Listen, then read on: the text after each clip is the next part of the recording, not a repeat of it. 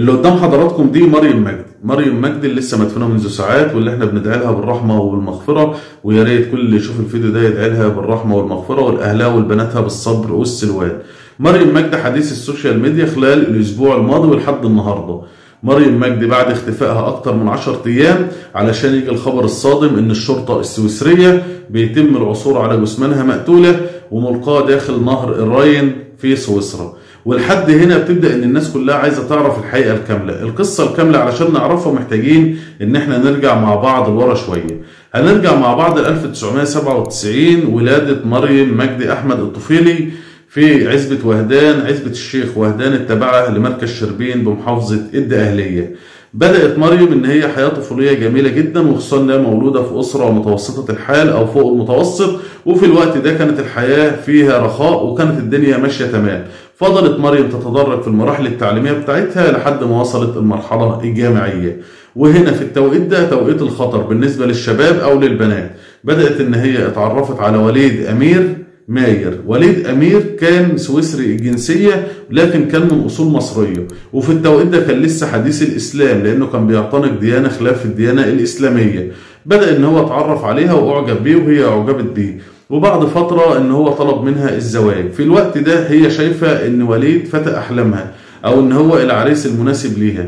وفي الوقت ده هو أيضا المجرم السفاح شايف إن هي الفريسة أو العروسة المناسبة ليه. عاشوا مع بعض كويس فعلا تم الزواج وتقدم لأهلها وبعد سنة ربنا أكرمهم بالبنت الكبيرة اللي هي خديجة. وبعد فترة تانية من الزمن ربنا أكرمهم بالبنت الصغيرة اللي هي فاطمة اللي هي ضحت بحياتها مريم علشان خاطر الطفلتين عاشوا مع بعض تقريبا حوالي أربع سنين وكانت الحياة ما بينهم تمام.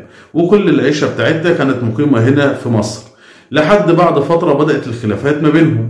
بدأت الخلافات هو كان بيشوف أي سبب علشان يمسك فيه وإن هو يبقى ده سبب الخلاف. إن هو أمرها إن هي تلبس النقاب. وفعلا مريم ما تأخرتش ولبست النقاب لكن مريم كانت مريضة سكري. عندها مرض السكر زي زي الآلاف وزي الملايين. بدأت مريم من هنا وكان عندها ضيق في التنفس. حست لما بتلبس النقاب وتروح مشوار أو بتمشي أو حتى في البيت إن هو بيضايقها. راحت كشفت في جامعة المنصورة عند الطبيب وعند اتنين وعند تلاتة. كل الأطباء قالوا لها علشان عندك ضيق في الشرايين وما يأثرش عليك في المستقبل لازم التنفس بتاعك يبقى طبيعي. بدأت إن هي تقنع وليد بالكلام ده وهو وليد مش مقتنع بأي حاجة خالص. هو بيشوف أي سبب إن هو يسيب مصر ويسافر سويسرا. بدأ إن هو يعرض عليها في الفترة ديت يقول لها خلاص إحنا هنسافر سويسرا وهناخد الطفلتين معانا. بدأت إن هي ترفض فكرة السفر وإن هو ياخد الولاد معاه. لكن بعد فترة تتفاجئ إن هو اختطف الطفلتين وخدهم وسافر بيهم على سويسرا. تفضل مريم من هنا تحارب من أجل أنها توصل لسويسرا وأنها توصل لاولادها وقالت هحارب العالم ولازم أسافر ولازم أرد ولادي لحضني وبالفعل تواصلت مع جمعيات أهلية هناك والناس تواصلت بيها وفعلا قدرت مريم إن هي تسافر وتوصل لحد أوروبا. وأول ما وصلت سويسرا هناك دخلت على المحكمة وقدمت الورق والمستندات وقالت إن هو خطف الطفلتين وإن هو كان زوج ليا ومشى.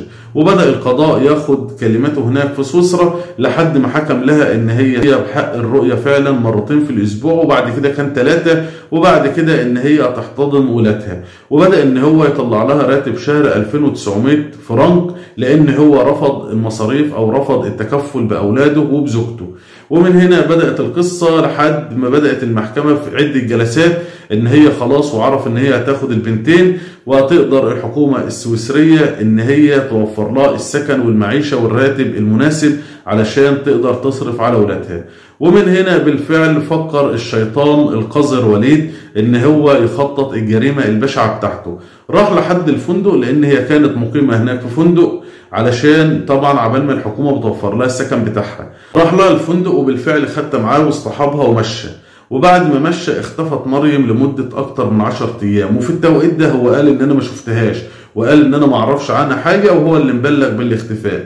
اللي اكتشف الواقعة وبلغ في البداية كان أخوها اللي هو مقيم في دولة الإمارات. هي ما ردتش عليه أكتر من 24 ساعة فبدأ إن هو يقلق عليه. فبدأ إن هو يتواصل مع أي حد في سويسرا أو يتواصل مع الحكومة السويسرية عبر المواقع الإلكترونية علشان يبلغ عن أخته. وقدر فعلا إن هو يتواصل للسفارة المصرية اللي متواجدة هناك. فقالوا لازم محضر رسمي عملوا المحضر الرسمي استجوب بزوجها قال إن أنا ما شفتهاش. لكن في الوقت ده علشان ربنا يكشف بداية الحقيقة وأول الخيط لأن هو ما فيش أي حد منتفع من تغيبها أو من موتها إلا زوجها إن هو فكر إن هو هيقدر إن هو يخلص عليها. وبالتالي بقى البنتين في حضنه وخلاص وهو عايش في دولته. علشان ربنا يظهر الحقيقة بدأ إن هم يتتبعوا الكاميرات فعلا شافوها إن هي خارجة معاه من الفندق في نفس التوقيت اللي هي تغيبت فيه. هو أنكر كل ده بعد تحقيقات عديدة حتى بعد ما شاف الكاميرات فقال آه أنا شفتها وبعد كده ما أعرفش عنها حاجة. لحد بعد 10 أيام إن الشرطة السويسرية بتعثر على جثمانها مقتولة وملقاة داخل نهر الراين بسويسرا.